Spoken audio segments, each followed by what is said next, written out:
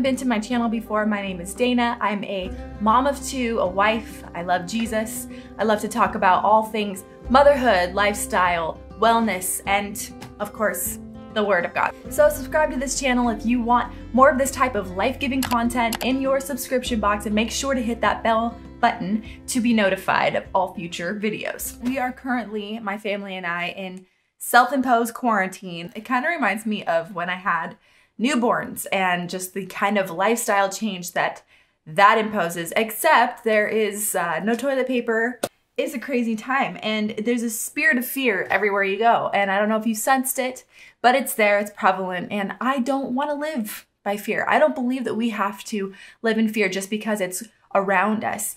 And I think more than ever, we get to shine as believers because we are unafraid or called to be unafraid. And the way that we can do that is because of his love that we know is real and true and deep and wide, and it covers us and it covers everything that we do. My prayer for you this season, no matter what season you're in, but specifically if you're in quarantine season with me, is that you would use this time to just dive deeper into God's presence, that you would use this time to build your faith and not your fear, to inundate yourself with the word, with worship, with prayer, and that you would come out of this season closer to Jesus than ever before. That's what I want for all of us. So we're going to read 1 John chapter 4 verses 16 through 19. So go ahead, grab whatever Bible you're going to read. Mine is going to read really differently. So if you have your app, a Bible app, make sure to put it on the Passion Translation. It'll be helpful. Okay, verse 16. We have come into an intimate experience with God's love, and we trust in the love He has for us. God is love. Those who are living in love are living in God, and God lives through them. Well, by living in God, love has been brought to its full expression in us so that we may fearlessly face the day of judgment. Because all that Jesus now is, so are we in this world. Love never brings fear, for fear is always related to punishment. But love's perfection drives the fear of punishment far from our hearts. Whoever walks constantly afraid of punishment has not reached love's perfection. Our love for others is our grateful response to the love God first demonstrated to us. Whew. Well, I actually want to look up in the Discover the Bible for Yourself book. I'm going to go to First John. Now, John, the one that wrote this book, he's also the one that wrote the book of Revelation and had that crazy vision on Patmos. And he's talking right now to the church and he's trying to warn them of deception. He's trying to warn them of Gnosticism, a teaching that, you know, God is removed from us, like he is around, but he is really not in our lives he's trying to warn them and he's telling them in this book over and over to abide, to have fellowship, to, to know God's love, to be born of God, to have light and truth, and to stay away from sin and darkness and hate. And I think this is a, a perfect book to look at right now. He's contrasting basically the world, the enemy, sin and death and hate, and he's contrasting that with light and love and the gospel and hope in Jesus. So that makes sense when he's saying right here in verse 16, we have come into an intimate experience with God's love and we trust the love he has for us.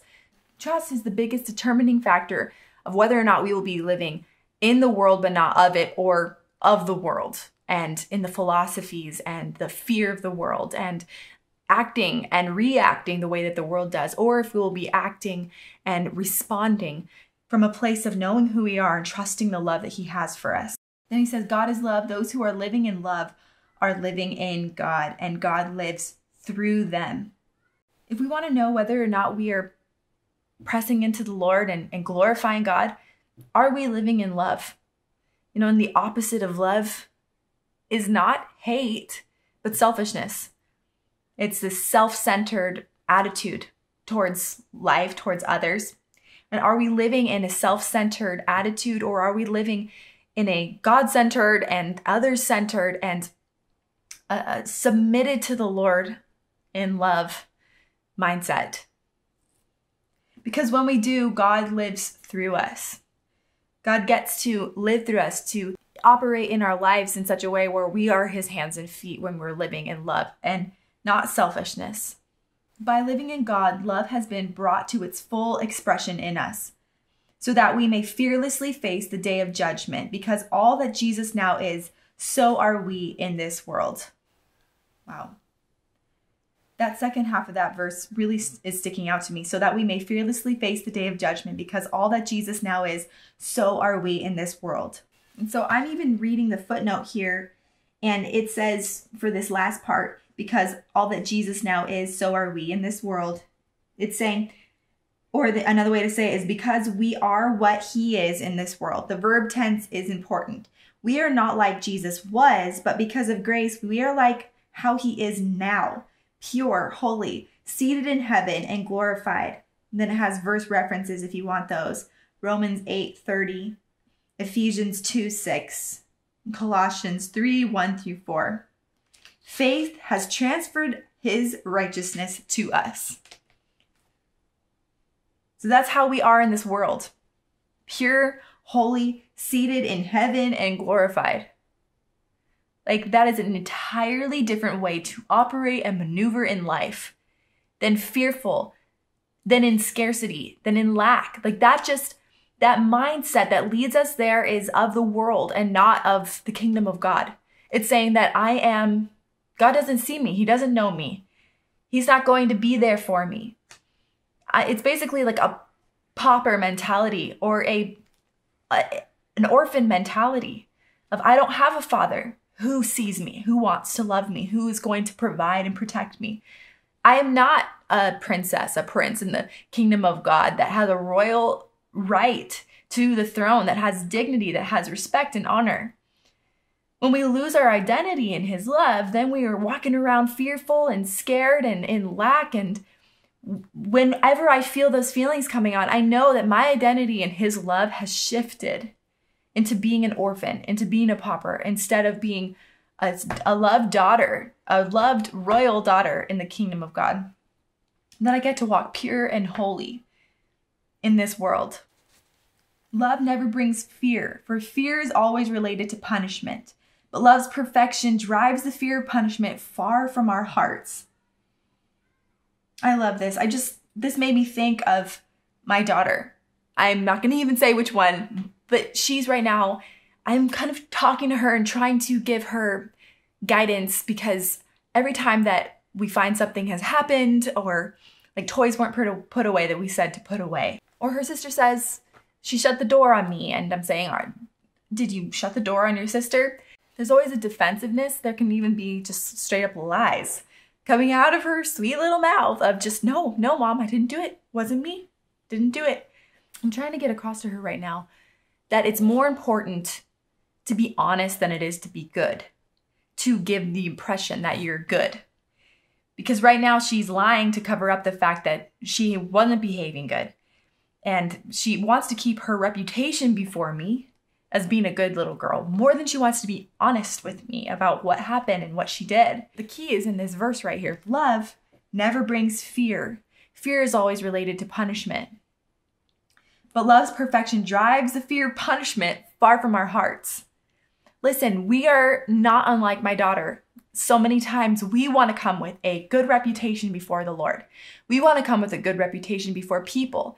And we're constantly trying to cover up the ways that we sin, the ways that we are wrong, the ways that we don't measure up, the ways that we don't even measure up to what we say and the things that we've said that we want to be or to do or what we think is right. We don't even measure up to our own standards.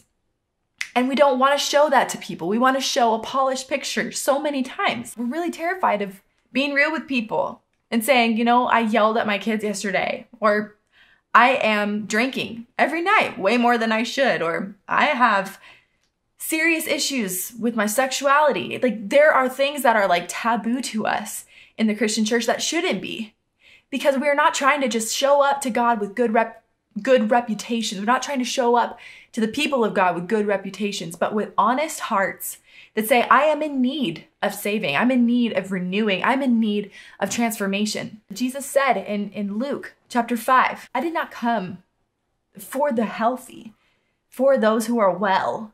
I came for those who were sick. Basically, I came for those who admit that they're sick because we all are.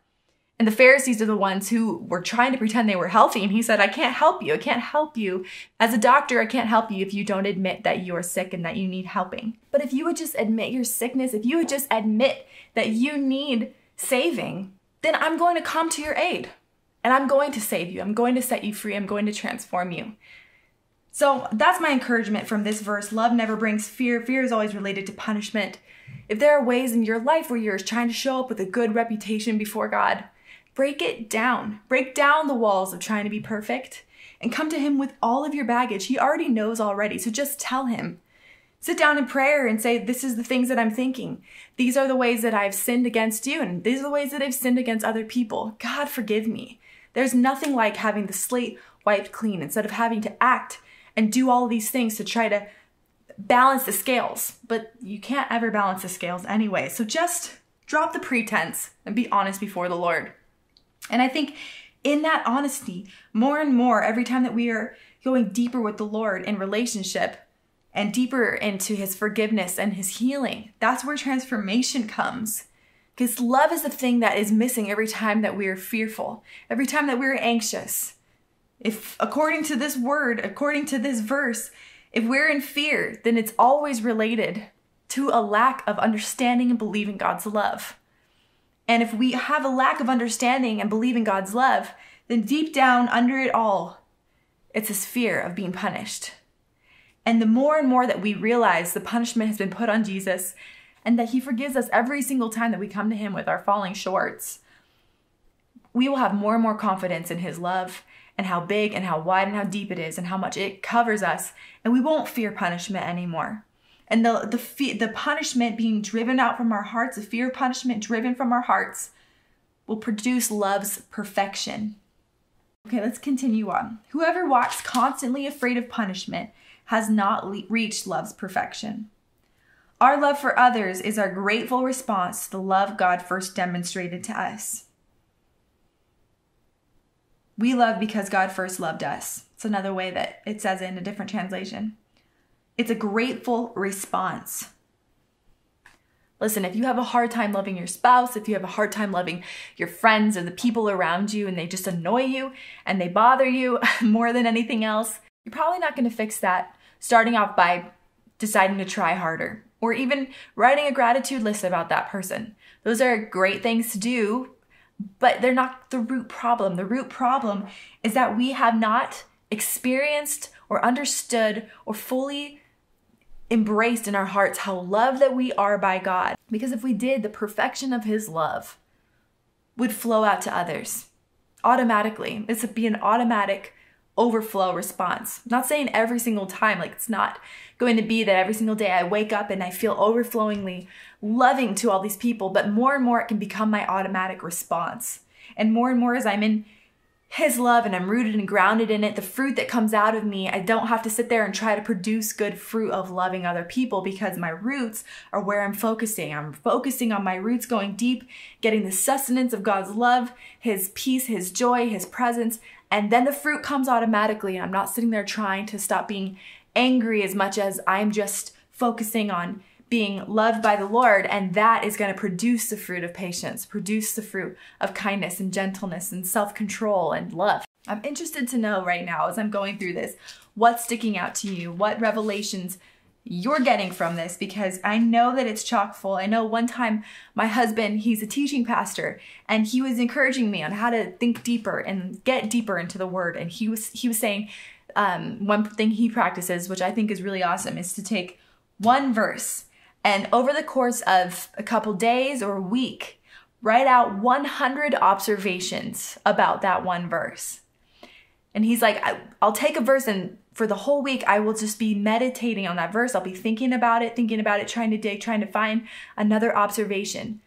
And if I can make it a point to try to write 100 observations, all of a sudden you'll start to see patterns and you'll start to see things appearing and you'll get these deeper revelations of the word that you never thought were there. And he's like, I guarantee you that you can find 100 observations on almost every verse, every verse in the Bible.